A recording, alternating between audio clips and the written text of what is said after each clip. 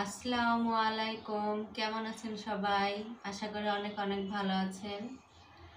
আজকে আমি আলুর চিপস বানাবো খুব সহজভাবে। তা আলুর চিপস আমি কীভাবে বানাই আপনারা দেখেন। আমি এখানে তিনটা আলু নিয়েছি।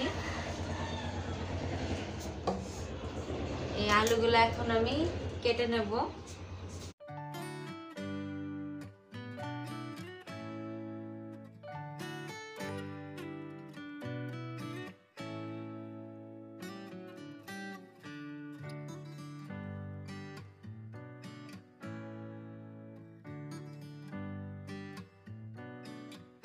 এভাবে আলুগুলো ছিলে নেব।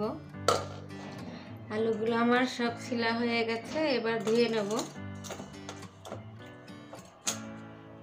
আলুগুলো আমি সব ধুয়ে নিয়েছি, এবার আমি বটি দিয়ে আলু চিপসগুলোকে বানিয়ে নেব।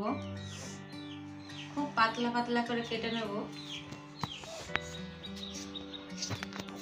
আমার কাছে বটি দিয়ে মনে হয় সুবিধা হয়। তো বটি দিয়ে আমি কেটে নেব।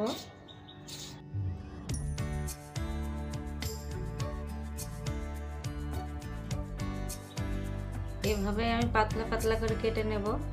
দেখুন, অনেক পাতলা হয়েছে। এভাবে আমি সবগুলা কেটে নেব।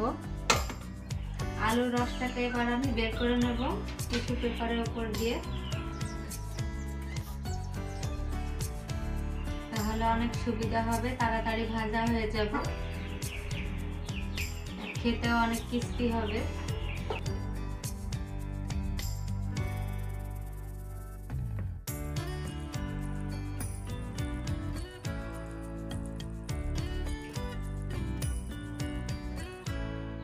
রসটা শুকিয়ে গেছে, এবার আমি ভেজে নেব। আমি এখানে একটা কড়াইয়ে তেল বসিয়ে দিয়েছি। প্রথমে আমি ভালোভাবে তেলটাকে তাকিয়ে নেব। তারপরে আমি আলুগুলা দিয়ে দেব।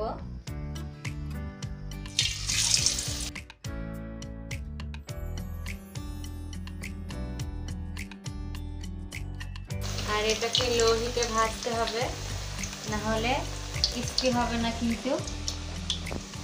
প্রথমে তেলটাকে ভালোভাবে তাতিয়ে নিতে হবে।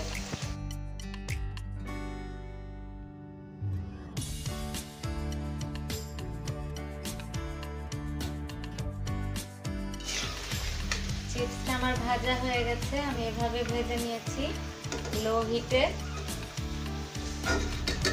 এবার উঠিয়ে নিচ্ছি।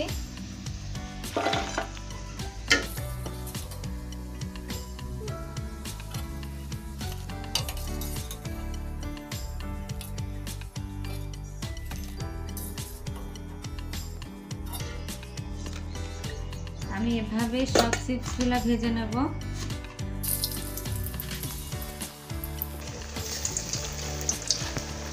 চিপসটাকে একটু ধৈর্য ধরে কিন্তু ভাজতে হবে।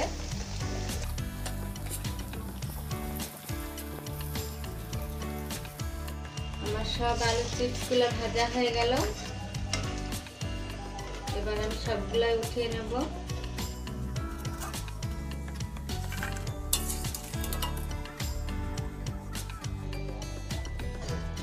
চিপসগুলো এত ক্রিস্পি হয়েছে, ভাজতে ভাজতে খেয়ে ফেলেছি কিছুটা।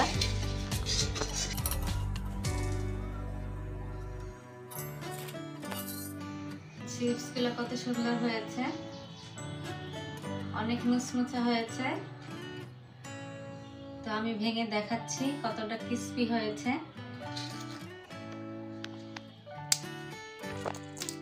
একদম মুচমুচা হয়েছে। হাত দিলে গুঁড়ো হয়ে যাচ্ছে। আমি আরেকটা ভেঙে দেখাচ্ছি।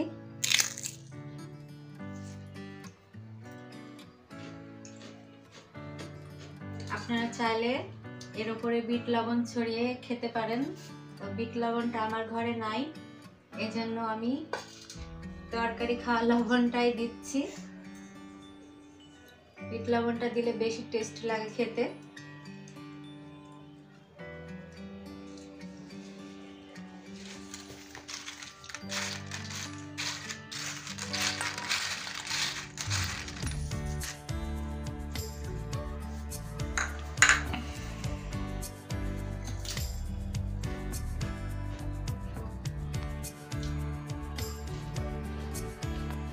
ভিডিওটা যদি আপনাদের ভালো লাগে লাইক কমেন্ট শেয়ার করবেন।